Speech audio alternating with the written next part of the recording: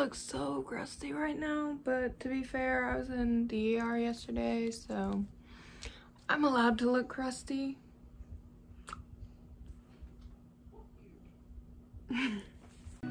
Did not make you laugh, did not make you smile. Friends, it's Rori, and today we're going to do another book tag. I know that I just did a book tag, but uh, as is the trend right now uh, with the star rating tweets on Twitter, a regular book tag, one star.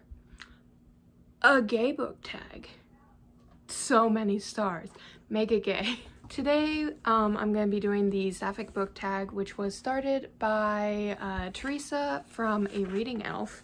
Um, I mentioned her in last, I think my one of my last videos. I've I've mentioned her. I really really like her Twitter, and I've she's awesome on Twitter. And I just started following her booktube, and her videos are great. I just want to be friends. As you can clearly see from my flag, I am a lesbian hi, how are you doing? So it just makes sense for me to do a sapphic book tag. And so that's what this is. Hi, let's go ahead and get started. First is uh, Crier's War, a book with the enemies to lovers trope. Unfortunately, I Kiss Kate is not published yet. Otherwise, that would probably be my answer because I'm so freaking excited for I Kiss Kate. I really tried to get sapphic books for all of these, but uh, I just I haven't read en enough enemies to lovers uh, books, and specifically I haven't read any with a female female romance except for one but i'm using that for another answer and i didn't want to like have the same book for multiple answers whatever uh, so instead i said uh, red white and royal blue by casey mcquiston I don't even need to explain what Red, White, and Royal Blue is because I feel like every single person on booktube has read this book at this point. So, um, yeah. I need to read more enemies, queer enemies to lovers books specifically because it's one of my favorite tropes. It's like my go-to fan fiction trope of all time. Just love it. But, um, most of the enemies to lovers books that I have read have ended up being straight. Up next, The Seven Husbands of Evelyn Hugo, a book about a celebrity, real or fictional. Her Royal Highness by Rachel Hawkins, um, because the main character, or the love interest to the main character is a princess in that book and a big thing about it is uh, how she's a celebrity and in the media a lot and yeah. I swore that i just heard my roommate's son say uh, the hulk is a whore. Just casual things in my household. Yeah uh her royal highness is the story of a girl who uh, was just broken up with her girlfriend and so to kind of get away from that and the fact that she's in love with Scotland she uh, is accepted to a Scottish boarding school is able to get a scholarship and so she goes there and she ends up being roommates. Oh my god they were roommates um, with the princess of Scotland. Um, and at first they hate each other uh, but they end up becoming friends and they end up falling for each other and it's really cute. It's really cute. It's not like the best book that you'll ever read, but if you are a fan of Hallmark like movies, which I am because my mom watches Hallmark Channel like it's a religion, um, then you'll like this book because it feels like a Hallmark movie except make it gay. It's Girls of Paper and Fire, a book with Asian rep. My answer to this is Queens of Geek by uh, Jen Wilde. I love that book so much. Um, it is the story of uh, two girls specifically. Um, the one with the Asian rep is a girl who is um, a YouTuber and she was just in her first movie. She's bisexual um, and she is Chinese Australian. Uh, the second uh, main character is actually a plus size uh, girl with Asperger's. Uh, I love both sides of the story, but specifically for the bisexual main character, she uh, was just starred in her first movie um, and she was dating her co-star uh, and they had a very public and very painful breakup and now they're just trying to like work together and be civil because they're both like doing tour like press for their movie at this convention. Um, and she also has a crush on another youtuber who is a female and it's really really cute. It's super duper cute. I adore it. I also really adore the other side of the uh of the story with the other best friend that was a good book. If you haven't read Queens of Geek, it's really good. Highly, highly recommend it. These Witches Don't Burn, a book with magic. So, I'm not the biggest fan of uh, fantasy or sci-fi. I am gonna say specifically The Red Scrolls of Magic by Cassandra Clare. Reason being, um, Helen and Helen and Aline are main characters in that book and they are my favorite Shadowhunter ship. Um, absolutely freaking adore them. Um, along with that, the other main characters are Alec and Magnus. So it's just a very queer book overall because you have four main characters who are all queer in some way with Alec being a gay man, Aline being a lesbian, and Magnus and Helen both being bisexual. Just great. And there's magic in it because it's the Shadowhunter world and because Magnus is a warlock, so it fits. uh, up next, this is How You Lose the Time War, a book with star-crossed lovers. Um, I put The Dark Wife by Sarah Diemer. Um, this is a Hades and Persephone retelling, except um, Hades is a woman in this book, and so it's a lesbian Hades and Persephone retelling. Clearly, I, I didn't have to... I'm sorry. It's super duper cute, it's super duper fluffy, but naturally, because it is a Hades and Persephone retelling, there's kind of like a star-crossed lovers type feel to it because they're not actually no one really wants them to be together.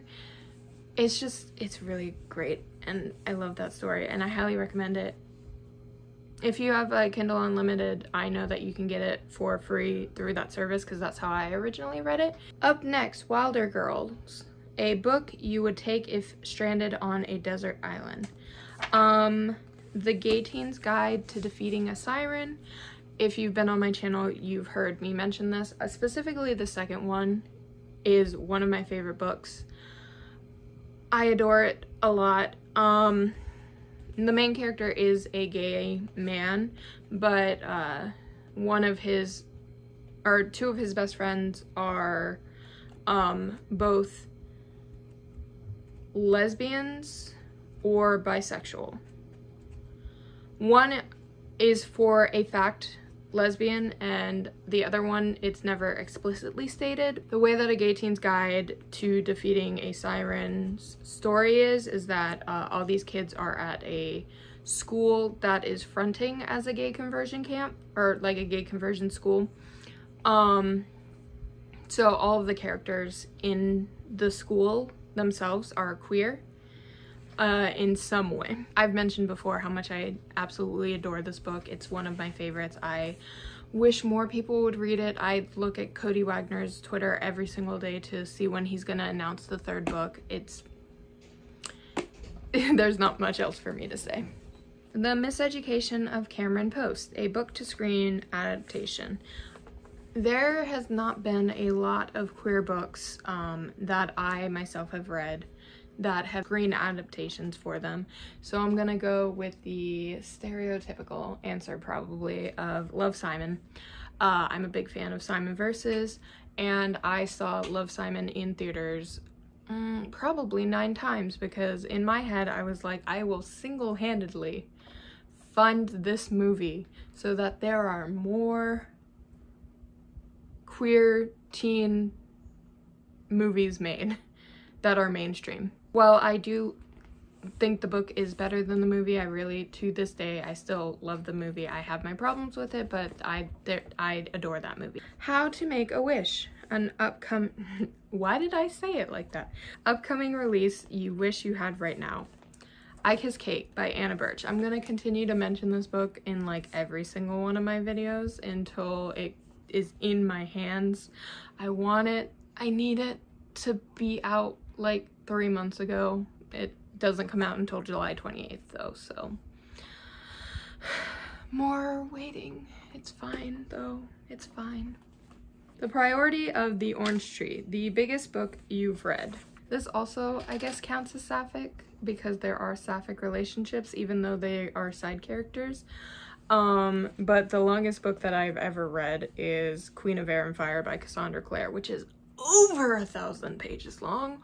What the hell, my guy? Once again, Helen and Aline, they're they're my favorite. I I absolutely adore them. I just give me a give me a book where Helen give me a book about Helen and Aline's marriage while they were out in isolation in Siberia. Like, come on. Cassandra Clare.